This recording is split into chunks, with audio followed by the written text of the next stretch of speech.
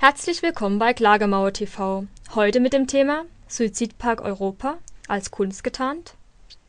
Die Initiative Suizidpark Europa lud im Oktober 2012 in Dresden, der geburtenreichsten Stadt Deutschlands, im C. Rockefeller Center for Contemporary Arts zur Präsentation eines Bauvorhabens ein. Ausgestellt waren Baupläne und ein Modell, wie der Suizidpark in Dresden aussehen könnte. Gebäude mit Seminarräumen, Abschiedshalle, Wellnessbereich, Giftraum etc.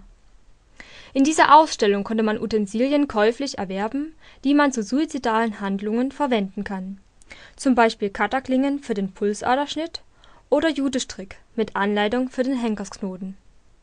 Angeboten wurde auch eine Suicide Map mit Auskunft über neun Gebäude in Dresden mit deren jeweiligen Höhen und Koordinatenangaben und Bemerkungen wie „ Sprung in Richtung Straße das alles wird als Kunst bezeichnet. Will man uns hier testen, wie weit wir mitgehen? Abtreibung, Sterbehilfe und jetzt auch noch Suizidempfehlung? Ich verabschiede mich von Ihnen mit einem Zitat von Bertolt Brecht. Die Abgestumpftheit ist es, die wir zu bekämpfen haben. Ihr äußerster Grad ist der Tod